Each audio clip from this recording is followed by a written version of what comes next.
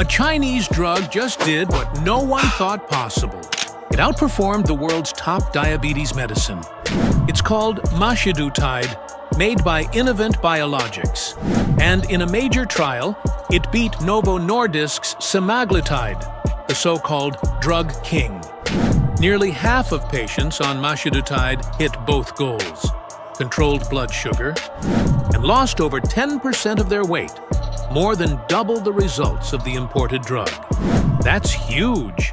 For the first time, a made-in-China treatment proved it can go head-to-head with the world's best and win. Built for Chinese patients, backed by world-class science, and ready for a $100 billion global market. Mashidutide isn't just a new drug, it's a new milestone. China's biotech revolution just got real. Follow for more breakthroughs changing global health.